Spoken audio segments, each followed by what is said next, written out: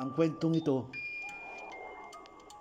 ay patungkol kay Francisco o kung tawagin nilang Isko, isang batikang manggagamot sa lugar ng San Pablo, Laguna.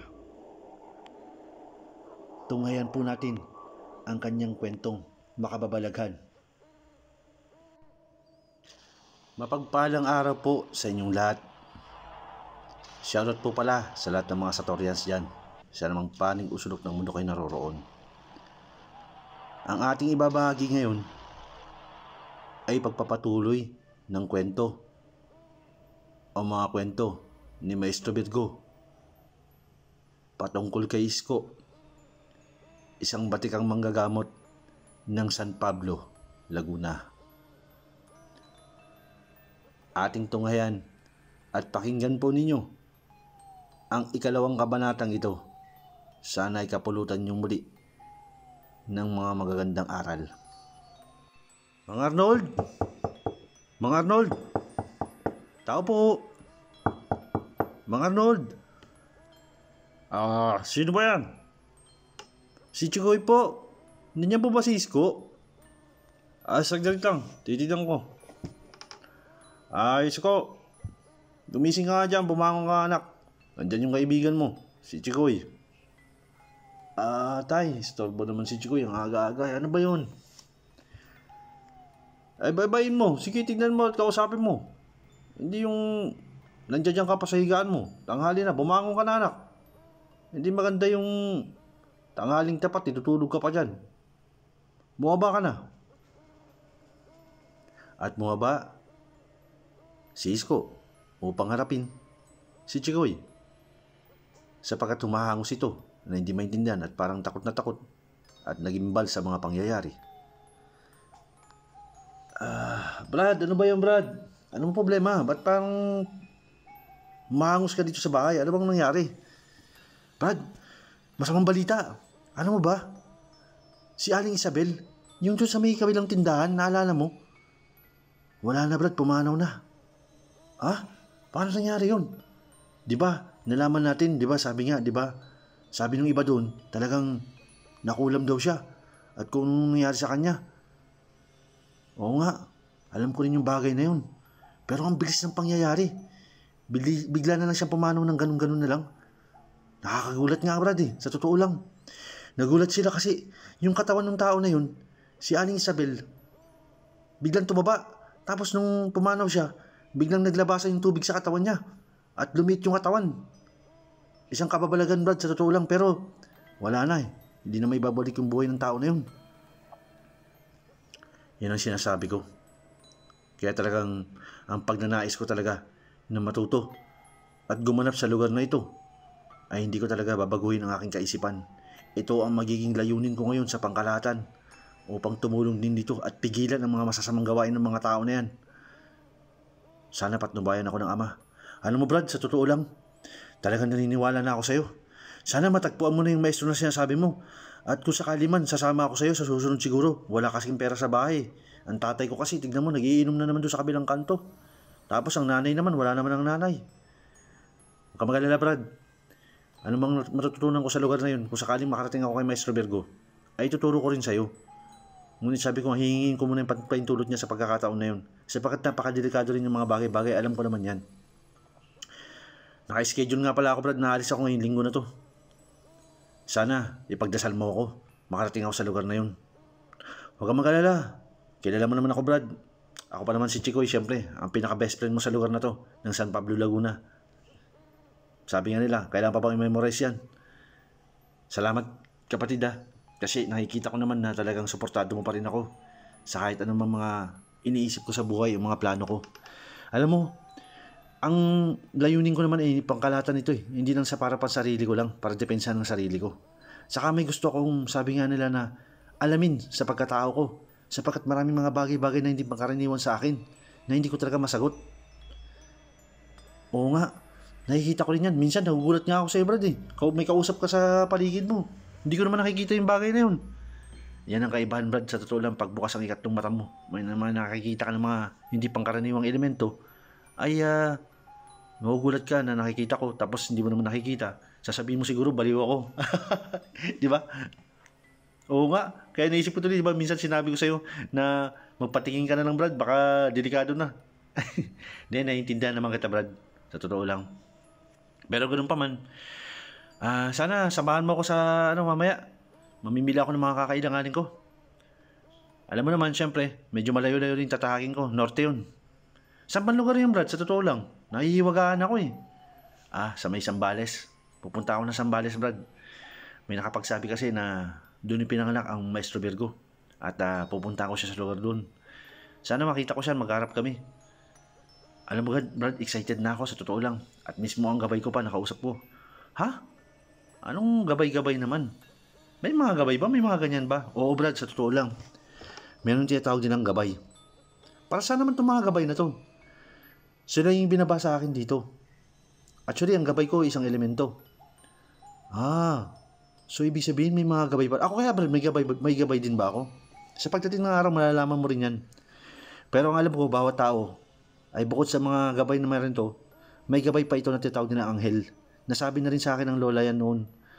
At uh, mga buhay pa sila, naririnig-rinig ko na napapag-usapan ng aking mga ama, ng aking mga tiyahin, mga tsuhin ko, pati isang nanay, na nung mga panahon na gumaganap ang lolo't lola.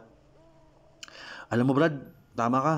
Alam mo, bantog na bantog ang pangalan ng lolo't lola mo dito eh, nung mga panahon na sila nabubuhay dito. Alam ko rin yan, mismo ang tatay at nanay ko. Lumapit din sila doon dati, nung may gumagambala doon sa lugar namin noon. Kasi ang tatay kasi, mahirap magputo ng mga puno eh. Ayun, namaga yung kamay. Nagulat nga ako, totoo pala yung sinasabi nila, nang nagpunta yung lolo ko, at uh, mga lola at lola ko, na sinamahan yung mga magulang ko para magpagamot, humingi ng tulong sa lolo at lola mo. At kilalang kilala sila Sayang nga lang, pumanaw na sila, no? Alam sa totoo lang, nalulungkot din ako.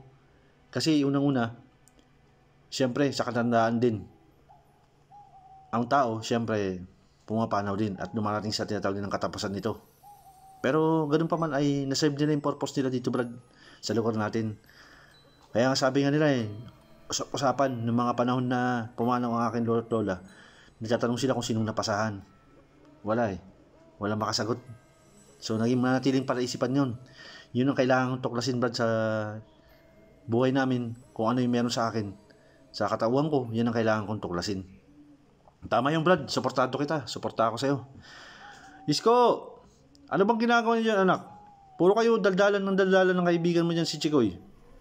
Ano bang oras na? Magalmusal na muna kayo. Halika. Chikoy, umakit ka dito. Nagalmusal ka na ba? Ah, uh, mga Arnold, hindi pa nga ako eh. Naku, ano ko tay, sa totoo lang, araw-araw na nag-aalmusal yan dito eh. Ay nako anak, pabago-bago ka naman sa kaibigan mo. Sige na, paakyatin mo na dito at mag-almusal na kayo. Ah, salamat po ha, Kuya Arnold ha. Ikaw naman Brad, binibustom naman ako sa tatay mo. Anong binibisto? Palagi ka dito sa bahay, almusal dito, ikaw nga umuubos ang ulam mo lagi. Obvious ba? Siyempre, mag-best friend tayo. Ay, nako, itong dalawang ta- bata na to. Halina, akyat na. Sige na at magkakain na. Celia, pagkain mo nga sila. Ay nako, dito pa lang nanay. Ipinaghain ng nanay ni Isko ang kanyang anak at ang kaibigan nito. At masaya silang nagsalo sa isang almusal. Pagkatapos ng mag-almusal ay nagpaalam si Chikoy at umuwi sa kanilang bahay. Umupo sa isang sulok si Isko at matamang nag-isip. Ayon sa mga sinasabi-sabi nila, Matatagpuan ko daw ang maestro na si Virgo sa lugar ng Sambales kung saan siya pinanganak. Ngayon, paano ko babaybayin do? Ang daming bayan ng Sambales. Nariyan ang Subic, Castillos, San Marcelino, San Narciso, San Antonio. Ano pa ba? Binabasa ko dito. San Felipe, Botolan, Botolan, Iba, Palawig. Saan kaya ako pwede magsimula? Hirap lang ito. Meron pang Masinlok. May Candelaria pa. May Santa Cruz pa. Grabe, ang daming bayan nito. Paano ko to... Paano ko kaya to ma... Ano?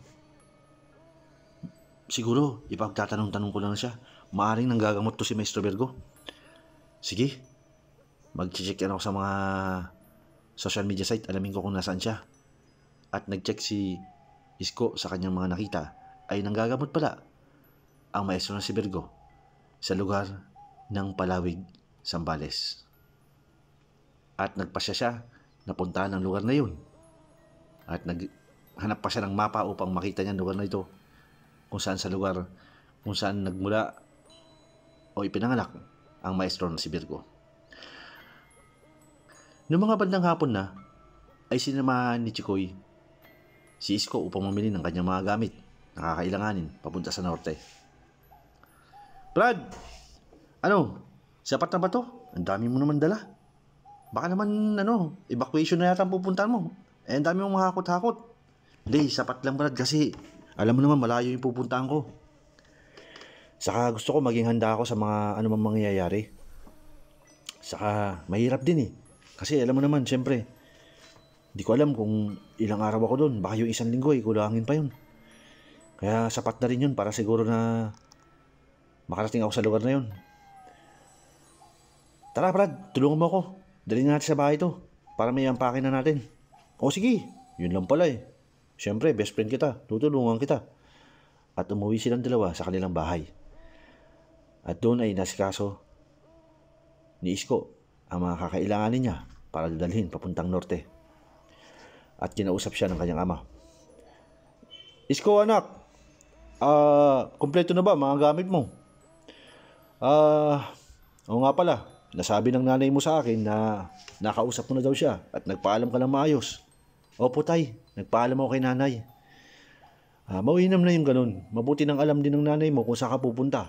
Alam ko, alam ko anak na meron ka ng may edad ka na, nasa hustong edad ka na, pero sabi ko nga sa'yo, mag-iingat ka pa rin. Sapagat sabi nga nila, Noong mga panahon na buhay pa ang lolo't lola mo, marami daw pagsubok ang mga uh, patungkol sa spiritual na yan. Hindi ka ba natatakot, anak? Alam mo, tay, para sa akin lang, sa nakikita ko sa paligid natin ngayon, kailangan ko manindigan. Ang dami ng mga nangyayari kasi. Hindi ko talaga masikmura ang mga kaganapan dito. Oo nga anak, sa tingin ko naman ay nararapat ng mga sinasabi mo na yan. At uh, alam ko naman nagagabayan ka ng dakilang isa. At uh, Salamat kasi mas nagkaroon ka ng lakas ng loob. Hindi katulad ko na medyo may edad na ako ngayon. Katulad ng nanay mo rin. Ay nakakalungkot lang. Hindi namin nagawa yung mga bagay na dapat sana ay ginagawa mo ngayon. Na ginagawa mo ngayon. Na nakikita namin na dapat kami ay naririyan sa posisyon mo. Pero hindi namin magawa yung bagay na yun. At nakakalungkot lang sa bagay na yan. Huwag na kayo kayo mag-alala. At ayoko rin na isuong pa kayo sa ganitong mga panganib. Sapat na ho yun. Kahit ako na lang. Sabi ko nga, saka kailangan medyo mas bata pa ang makikipaglaban sa ganitong mga bagay. Basta anak, sabi ko lang sa'yo, mag-iingat ka lang. Nasaan na ba yung kaibigan mo si Chikoy? Eh, naligo daw muna tayo eh. Mamaya-maya daw, ihahatid ako sa may uh, sakayan ng bus papuntang norte. At uh, bababa muna ako ng Manila tapos meron pang isa sakayan doon. May sakayan daw doon, papunta ng Sambales. Ah, ganun ba? Mag-ingat ka anak ha, kasi nag-aalala talaga ako sa'yo eh. Nakakalungkot nga lang. Aalis ka. Hindi ko alam kung ilang araw ka doon. Sapat pa yung pera mo na hawak mo. Baka naman kulangin pa yun. Ah, okay lang ba sa'yo yung pera mo? Kayang-kaya kayang, kaya na ba yun? Basta tay, kaya ko ng sarili ko. Huwag niyo na akong intindihin. Saka kilala mo naman ako, di ba? Ayaw ko rin maging palaasa sa inyo ni nanay. Sa pagkakataong ito, gusto ko na rin na siguro at some point, nasubukin. Mag-explore. Total naman, bakasyon naman yan. Mahaba-haba ang panahon. Basta mag-ingat ka lang anak. Yun lang masasabi ko sa'yo. At nag-impake si Ruben ng kanyang mga gamit. At maya-maya lamang ay lumipas ang oras. Hindi niya namamalayan. Merong isang bagay sa kanyang panaginip na waring nangungusap sa kanya ang maestro na si Virgo. Isko, nais mo ba ako makausap? Bakit mo kailangan puntahan? Ano ba ang pakay mo sa akin? Ah, kayo po ba si Maestro Virgo?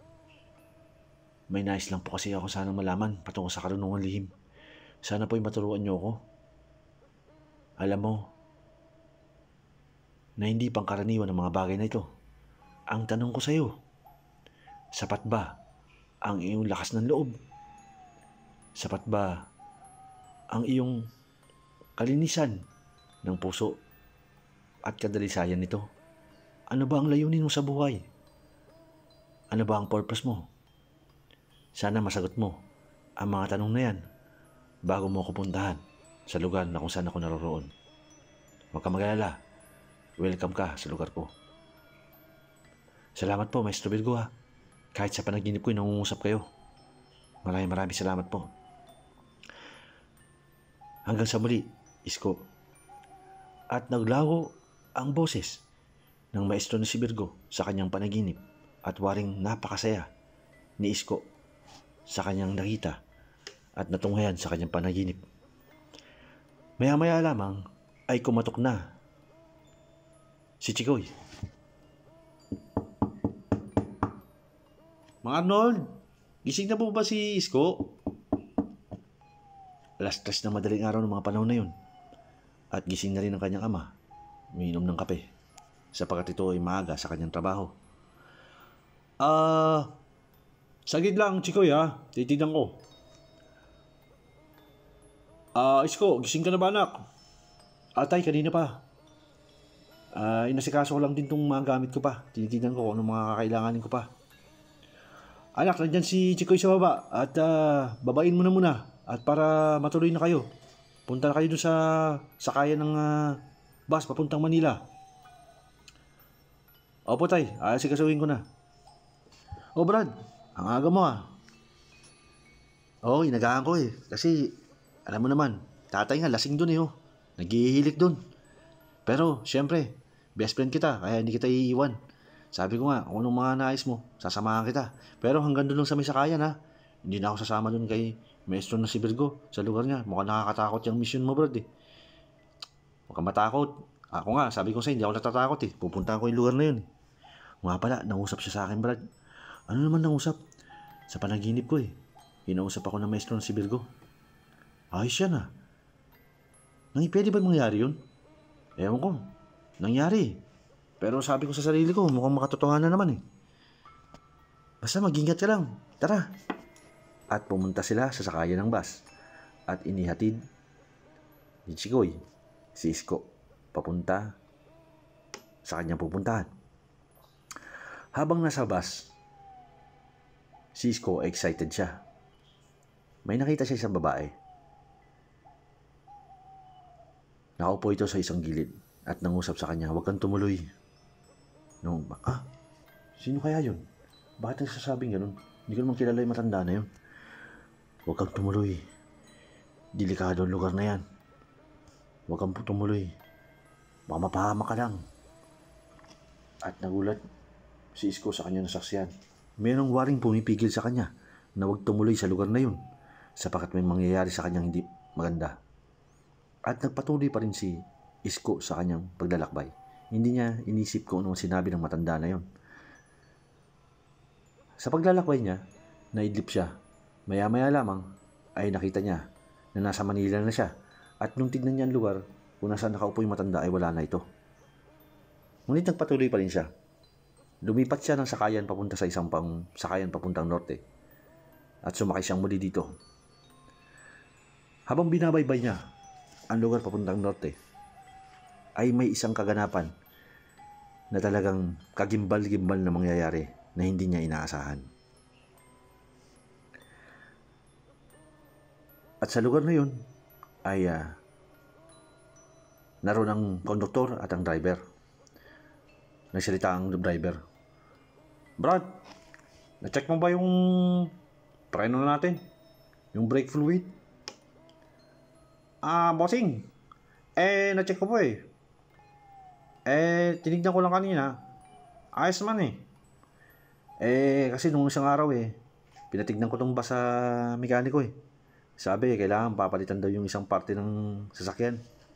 Nasabi na ba natin sa management to? Ah, bossing, ah, alam ko na sabi ko na kay ano eh, kay Riza. Pero siguro at some point malalaman din naman ng management yan eh alam naman nila yung maintenance nitong sasakyan nila. Oo nga eh, pero sabi ko, mag-ingat lang tayo. Kasi, ang daming mga tao dito bro, nakita mo. Buti nga, napahinto tayo nga dito, naalala ko. May bus stop dito, nakapaginto tayo ngayon.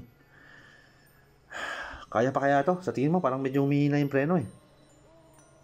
Naririnig ni Isko ang pinag-uusapan ng driver at ng konduktor nito at wala siyang kinabahan at talagang kumalabog ang kanyang dibdib. Nagpatuloy ang paglalakbay nila. Nakarating sila sa lugar ng Pampanga hanggang makarating sila ng Sambales, nakapasok sila dito sa lugar na to. Ngunit sa di niya sa pagkakataon, nang makarating sila sa Botolan, doon naganap ang kagimbal-gimbal na mga pangyayari. Mamang driver! Mababangga po tayo! Ay! Ah, ba't bumangga ang sasakyan na sinasakyan ni Isko? Nagkalat ang mga patay sa paligid. Sumambulat ang katawan ng mga tao. At meron pang isang sanggol na talagang umiiyak habang umuusok at kitang-kita ni Isko na talaga namang umuusok at umapoy ang buong paligid ay iniligtas niya ang bata, ang sanggol na bata na nasa kanyang tagiliran. Agad siya nakababa, ngunit nagtataka siya. Ang daming mga sugatan. Siya lang ang hindi nasugatan. Ang driver ay uh, wala na wala ng malay. Ang konduktor ay lumabas sa windshield ng sasakyan at nakaandusay sa may kalsada. Marami na ang lumalapit at talagang nagkakagulo na. Ngunit iniligtas ni Isko ang sanggol at nakita niya ang sanggol ay nakahandusay sa isang lugar at ang mamangulang nito ay duguan din. At inilagay niya ang sanggol sa labas. Kinuha niya ito at naganap siya ng mga taong pwede niya pang isagipin. Nakasagip pa siya ng mga limang katao, ngunit ang iba ay patay na talaga ng mga panahon na yun. Napakabilis sa mga pangyayari. Sabi niya, ano ba talaga nangyari nito? Grabe, isang matinding aksidente ang nangyari. Hindi ko akalain na mangyayari sa akin itong bagay na to. Sa pagkakataon na yun ay may pumipigil kay Isko na makarating sa lugar na kung nasaan naroon si Virgo. Agad siya nagpunta sa isang lugar at inibinigay ang bata. May mga volunteers doon, may mga medical uh, personnel na lumapit at kinuha ang bata sa kanya.